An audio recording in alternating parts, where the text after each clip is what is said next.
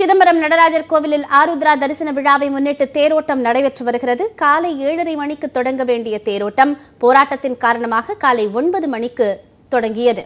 சிதம்பரம் நடராஜர் கோவிலில் கடந்த இருபத்தோராம் தேதி ஆருத்ரா தரிசன விழா தொடங்கியது. இந்த விழாவில் வெளிமாவட்ட பக்தர்கள் பங்கேற்க மாவட்ட நிர்வாகம் தடை விதித்தது.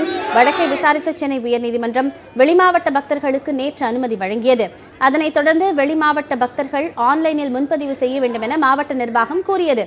இதற்கு எதிர்ப்பு தெரிவித்து நடராஜர் கோவில் கீழ சந்நிதி வாசலில் தீட்சிதர்கள் ஓதுவார்கள் பக்தர்கள் நேற்று சாலை மறியலில் ஈடுபட்டனர். நேற்று மாலை ஏழு மணி தொடங்கி அதிகாலை இரண்டு மணி வரை போராட்டம் நீடித்தது.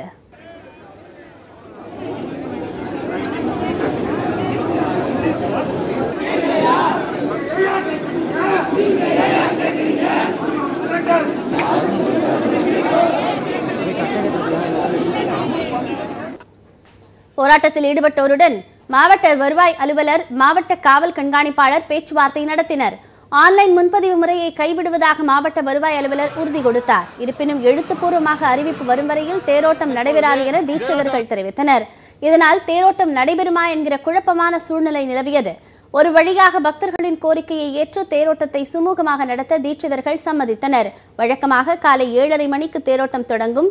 போராட்டம் குழப்பம் காரணமாக இன்று காலை ஒன்பது மணிக்கு தேரோட்டம் தொடங்கியது. தனித்தனி தேர்களில் நடராஜர் சிவகாம சுந்தரி சண்டிகேஸ்வரர் முருகன் விநாயகர் ஆகியோர் எழுந்தருள நான்கு மாட வீதிகளில் நமச்சிவாயா என முழக்கமிட்டபடி பக்தர்கள் வடம் பிடித்து தேரை இழுத்தனர். கோவிட்னால நேற்றுக்கு ஃபுல்லாக இது பண்ணாமல் வருமா வராதான்னு டவுட்டில் இருந்தோம். ஸோ எல்லாருமே ஹாப்பியாக இருக்காங்க.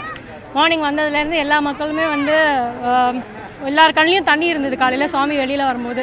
ஸோ இது எல்லாருக்கும் சந்தோஷமாக இருக்குது தேர் இழுக்கிறது ரொம்ப ஹாப்பியாக இருக்குது ஏன்னா ஒரு வருஷம் கழிச்சு இழுக்கிறோம் அதனால் ரொம்ப சந்தோஷமாக இருக்குது எல்லாரும் என்ஜாய் பண்ணிகிட்டு இருக்கிறாங்க இங்கே.